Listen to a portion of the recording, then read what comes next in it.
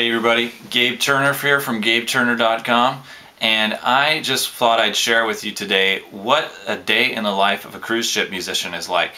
And it actually would be more like a week in the life. Um, I used to play sax on a cruise ship. It was a week-long cruise, so I kind of looked at my life in terms of weeks.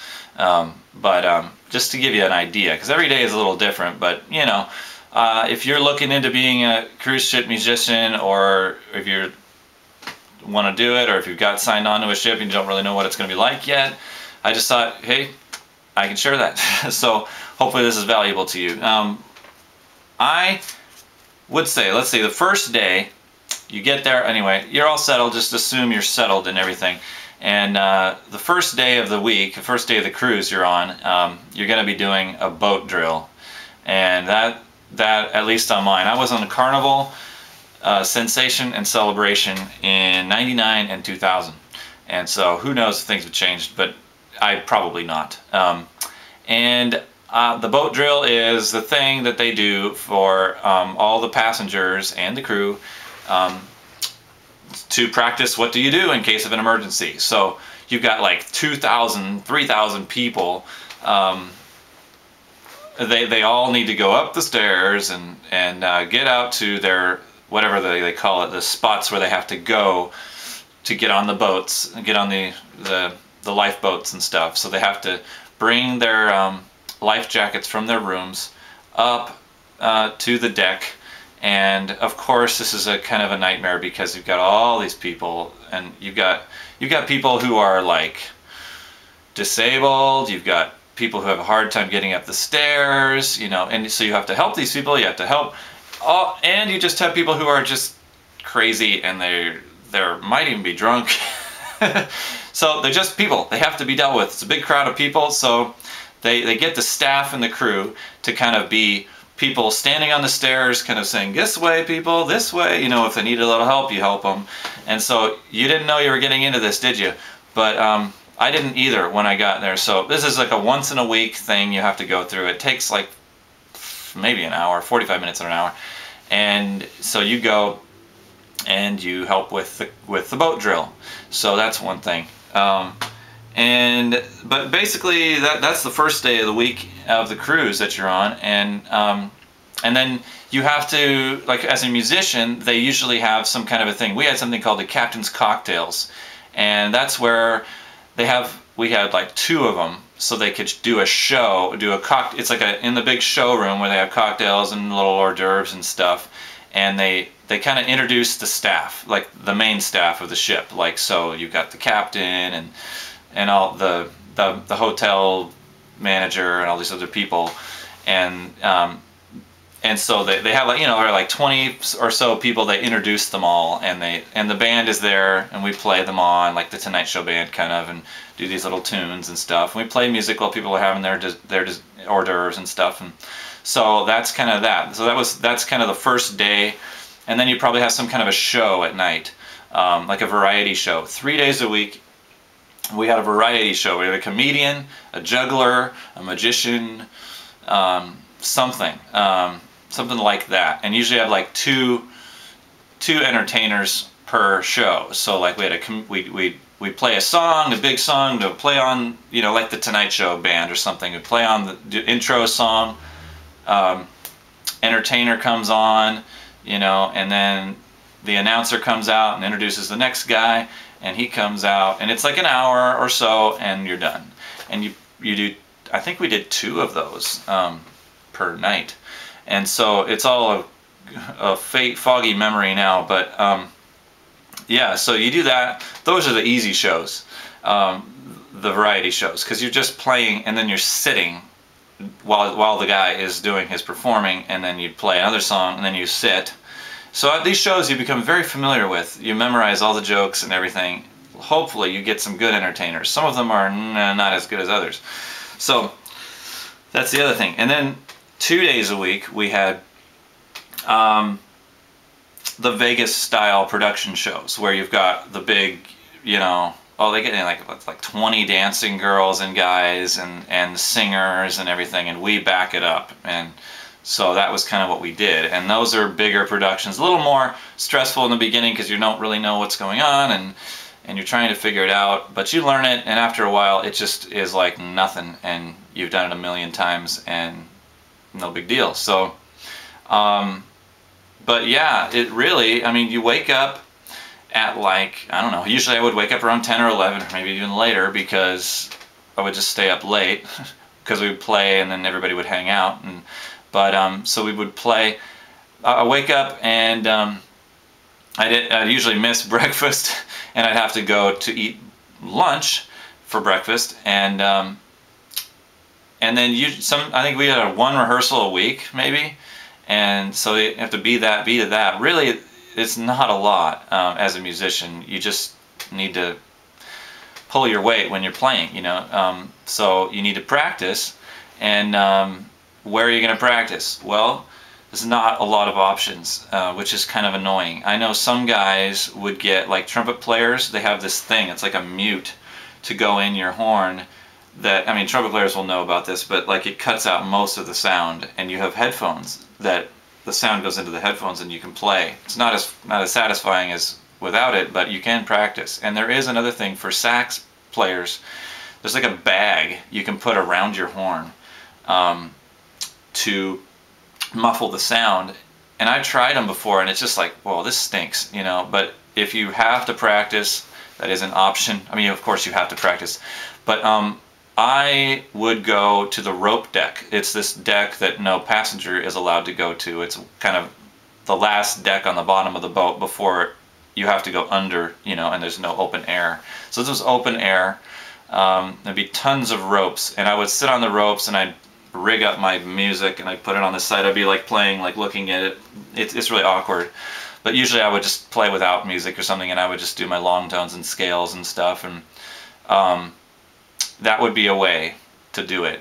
A lot of times there's guys out there chatting or or sleeping on the ropes and stuff, and it's like, oh gosh, you know, I don't want to annoy them, or but usually it, it worked out okay. Um, you can also go to the dressing rooms behind the stage or on the side of the stage. Those are kind of a toss-up. It's just because you know you're living with a lot of people and the staff. There's like a lot of staff too, and, and so those are the people that you're you're mainly interacting with. So you kind of learn your where where your boundaries are and where you can do some certain things and where you can't do other things at certain times of the day or certain times of the week. So it's kind of annoying. I'm an introvert and you know, it was hard. It's hard for introverts, extreme introverts like me. And so I I don't know what to tell you. It's it was that was the toughest thing for me is not being able to get alone in terms of practicing and then just being by myself because I wanted to read a book and not be bothered or not be around other people. That's how I recharge. So I found one room, you know, you just go exploring and poke around and see if you can find anywhere to get away. There might be in a closet somewhere or something, you know, you just you do what you got to do and um, it is hard to get away from people. So anyway, um, a lot of times those practice situations can be pretty tough because your sound carries and you're gonna bother somebody you know? The I remember one of them those dressing one of the dressing rooms was below the captain's quarters where he was I don't know what it was but it was some area where he was in his office or something and he did not like us doing that so of course you have to obey what he says but um, anyway it's kind of tough. So that's the I mean there may be other ways to do it that I don't know about. But practicing is important for a musician, and that was that was kind of one of the main things I wanted to do um, because you've got a lot of time on your hands. Um, so plan to use your time wisely. That will be a it was a tough thing for me because I got kind of depressed on the ship because of a lot of different reasons. It feels like you're well you're living at your job all the time and you can't get away from you can't get away from it on sea days. So like for us, we have like three sea days a week, where that means you're trapped on the ship. And uh, so you feel the pressure. It, it, for me, it closed in on me. I was, I didn't notice my other, the other guys in the band dealing with it as much as me. I, I don't know. I was kind of a unique case. Um, but yeah, I, I read a lot of books. I, that was the one thing that was easy for me to say, okay, I got to redeem this time somehow. So I got some Russian novels, you know, and uh, big, thick classics, and I, I read a bunch of those, and and you know, redeem the time. Make make use of this time, and if you want to learn something, learn a language or whatever, you've got time. You know, of course, you're there as a musician, so you can really practice your horn, practice your your instrument, your your theory, whatever. Bring some books and plan to, to use your time wisely. Don't waste it away. It's it's so easy. I saw so many people just frittering away their time. Um, and anyway, but uh, another thing is the crew bar. That is that is like the only place that people hang out on the ship, the crew. Um, and so drinks are cheap, everything. I don't drink, so it was kind of like, oh, great. but uh, that's where everybody goes to hang out. I would still go there sometimes, but a lot of people end up, some people end up having drinking problems um, because the drinks are cheap and there's not a lot of other things to do. And, and you know, they have their money, they got paid in cash. uh, you do get paid in cash. Um, so, yeah, and, and you're going to all these tourist trap, you know, cruise ports where there's a lot of, you know, it's, it's a lot of party, partying and stuff. So that, that's just kind of the thing. So you got to be aware of that you know, know where to draw the line, you know, and a lot, don't waste your money, you know. You're there to make some money, get some experience as a musician. Um, be just be wise, you know. Um, da, da, da, eating, eating is pretty good um, for for a cruise uh, uh, for the staff. Um, the staff are the people like the hairdressers, the shop, the people that work in the shops, the the childcare people, the musicians, the dancers, the singers, performers. And there's, you know, on my ship, I don't know, there's probably like 100, 200 people of those in that category.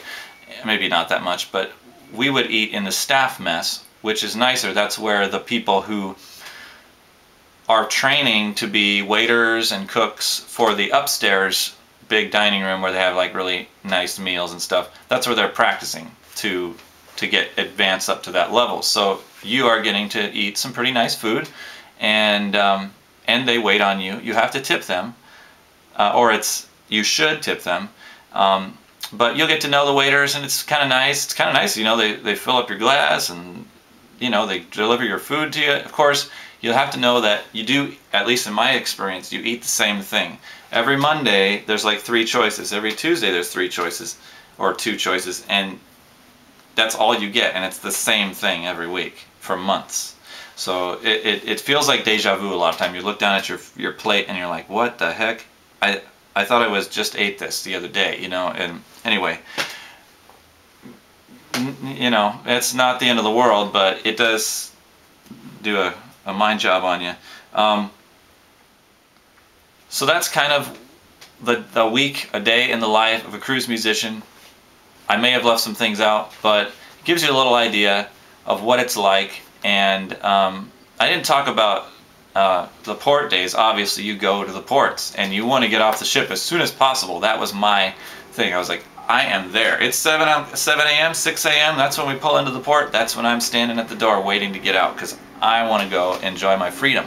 That was the time when you got some freedom. You know, you're not closed into the ship and you're not you know living next door to your boss and all that stuff so you you get to get out and I mean I walked my feet down I mean I I walked more than I'd ever walked in my life I think I just I just loved just to get out and walk and I walked all over New Orleans all over Cozumel um, especially and man I, I just loved it so anyway, there are some good things. There are some not so great things.